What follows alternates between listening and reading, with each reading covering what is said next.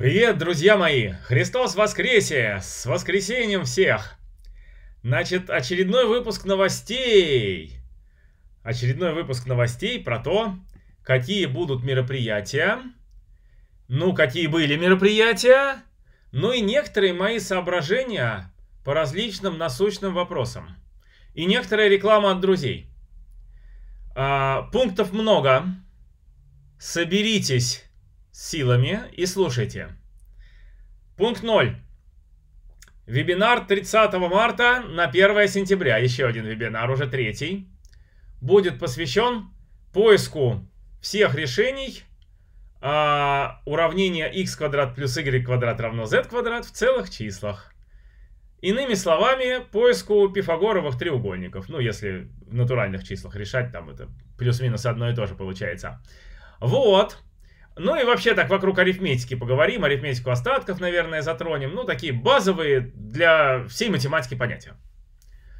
Так, ну это 30 марта. А что будет в ближайшее время? В ближайшее время будет много интересного. Пункт 1. Лекция в Майкопе, точнее лекции в Майкопе. 10 февраля я сажусь на самолет очень ранний, и в 10.25 уже прилетаю в Краснодар, меня везут в Майкоп на День науки. Там у меня будет лекция про простые числа, загадки простых чисел, на самую общую аудиторию. А, начнется она в 13.00, то есть с корабля на бал просто, вот так. Она будет в АГУ в 327 аудитории. Кроме того, вечером еще что-то планируется, и на следующий день планируется много чего. А, по Майкопу ситуация с огромной скоростью меняется, поэтому точную информацию а, я к этому видео прикреплю в описании. Там будет точный список всех выступлений по Майкопу. А, что самое главное, постараемся 11 февраля замутить февральский стрим на канале. То есть буду отвечать на ваши вопросы. Вроде канал уже подрос, 36 тысяч. А, уже, наверное, будет много разных вопросов от э, новых слушателей, которые недавно приехали на канал. Ну, у старых слушателей, извинюсь, если придется что-то такое баянистое говорить. Короче говоря, по стримим, я думаю, что найдем, э, начнем в 7. Ну и, скорее всего, будем из квартиры Сева Воронова. Правда, я еще с ним не говорил про это, но надеюсь, что он не будет против. Так, идем дальше. После этого я еду в Липецк. 13 февраля у меня лекция в Липецке. Начало в 14.00, прямо тоже вот с поезда сразу туда. Адрес улица Интернациональная, дом 12Б, Липецкий филиал финансового университета. Теория вероятностей на пальцах. На пальцах. Ход свободный. Жду всех.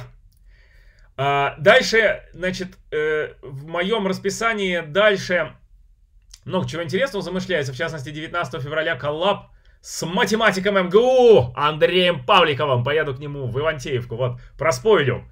Пока еще ничего не было, но уже проспойлю, что мы планируем это.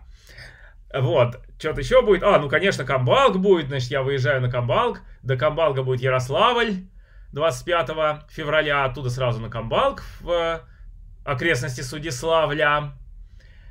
Так, ну, дальше в следующих выпусках новостей. А пока расскажу про то, что уже было. А, значит, итак, вышел на пост наука мой ролик про гипотезу Пуанкаре, где я описываю формулировку. В комментариях удивляются, почему я не привожу доказательства, насколько люди могут быть далеки от темы, да, ну это нормально, не, ну там 250 тысяч просмотров, конечно, не все понимают, что такое доказательство Перельмана и насколько выше оно стоит, чем вся математика, которую кто-либо из нас знает.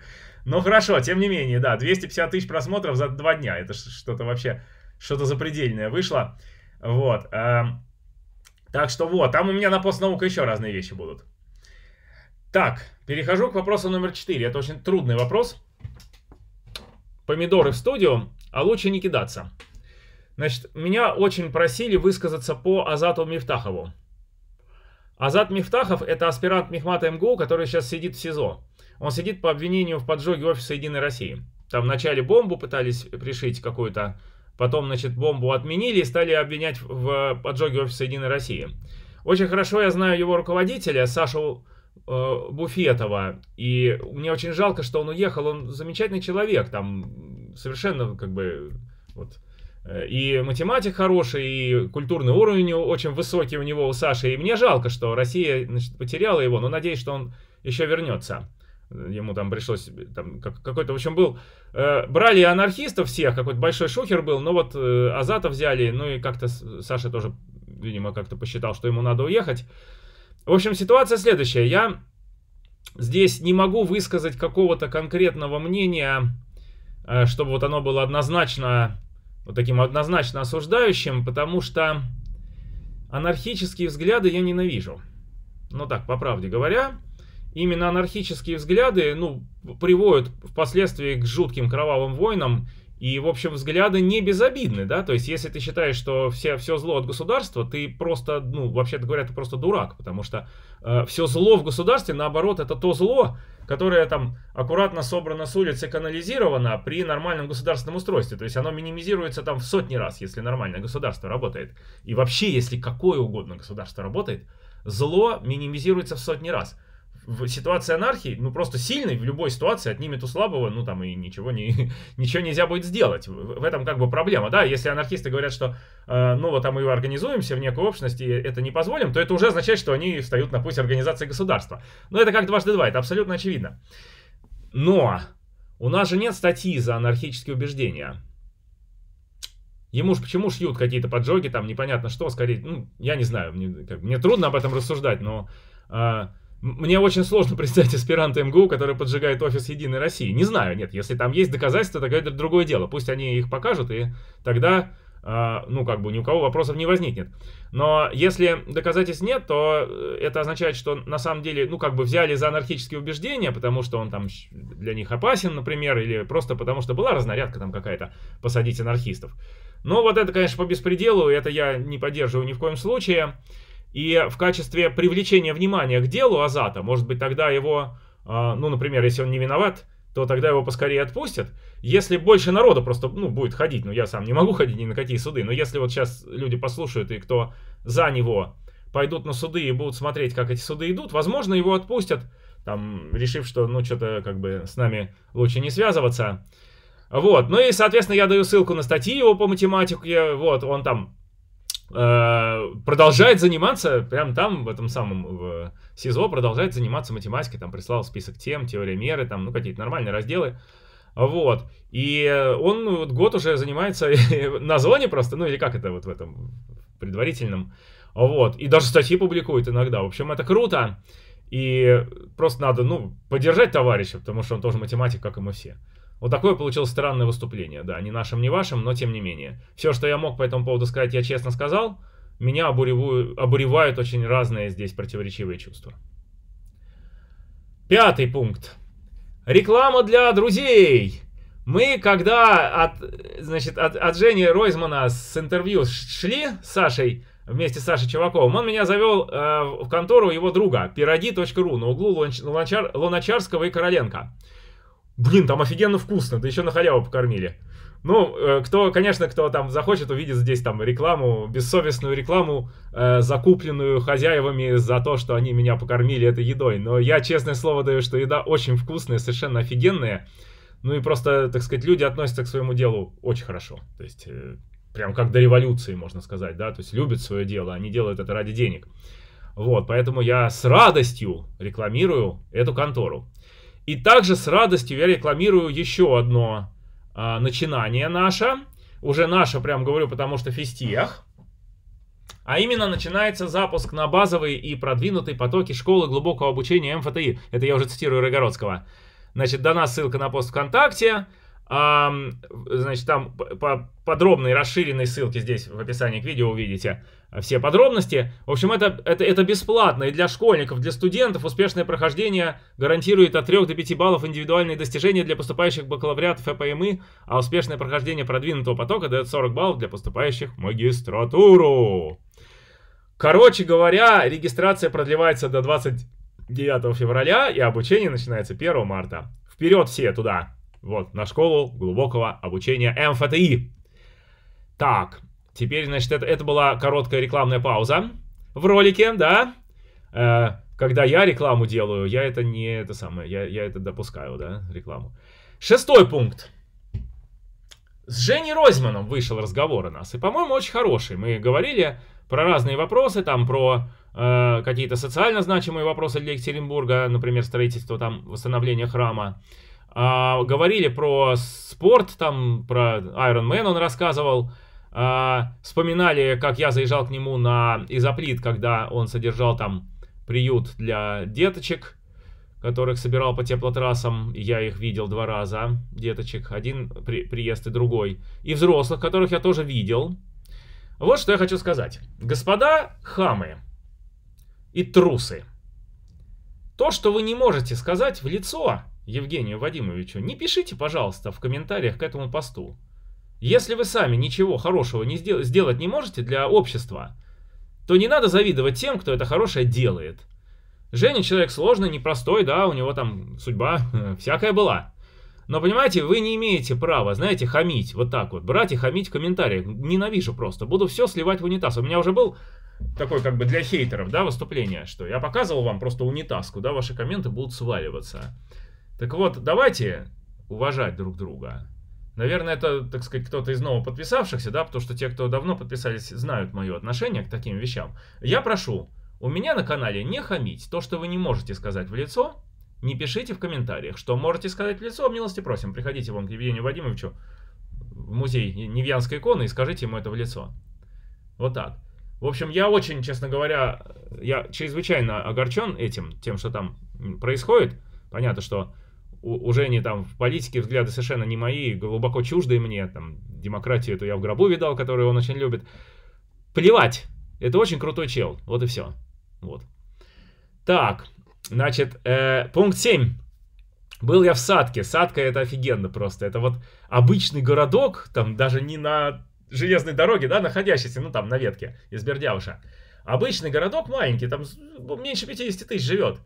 И там местный бизнесмен, вот фанат там типа красоты, да, и там улицы разукрашены, там остров средневековый где-то, какие-то артефакты на улицах стоят. Короче, я записал несколько роликов и выложил их в Инстаграм. Смотрите их, ну там, э, значит, это самое, э, ребята выложили. Смотрите эти ролики и офигевайте, и приезжайте в город Садку. Вот так, а я там, значит, математику вел, ну, познакомил uh, школьников и взрослых с математикой. Ну, про математику как бы до сих пор, видимо, имели очень отдаленное представление все, но теперь тоже будут подключены к нашим процессам, к нашей империи. Пункт 8. У меня состоялся коллаб, точнее разговор, откровенный, сердечный разговор с отцом Андреем Ткачевым, которого я очень полюбил после того, как мы с ним поговорили. А, вот, он выходит у него на канале. Надеюсь, к моменту опубликования видео уже выйдет. И я здесь дам ссылку. Так что у нас там, ну, и я там э, описываю, в частности, 5 моментов в математике, которые напрямую указывают на наличие Бога. Но это не доказательство в прямом смысле слова. В прямом смысле слова доказать, так же как опровергнуть существование Бога, нельзя это понятно. Но они прямо вот, э, ну как бы без него это было бы совершенно вот непонятно, как объяснять эти вещи, ну и как к ним относиться, да. Э, пять вещей, которые в математике указывают на Бога. Ну и мы так в целом обсудили и поняли, что будем рубить этот безумный атеистический, значит, Вавилон с разных сторон двумя, значит, топорами. Он богословским, а я математическим. Срубим его нахрен отсюда. Вот. Так. Девять. Нальчик. Вышел ролик на канале про Нальчик э, совместно с ITV Group и лично Муратом Алтуевым. Мы начинаем в Нальчике с сентября проект 100 уроков математики или кружок «Я математик». Короче, там будет большая движуха. Я ездил туда, встречался с главой республики в кабинете. Он говорил, что будет помогать всячески вообще. Вот, так что еще один кавказский математический фронт открывается. Кавказ математический будет. Вот так. А, и после последнее. И последнее в этом выпуске новостей.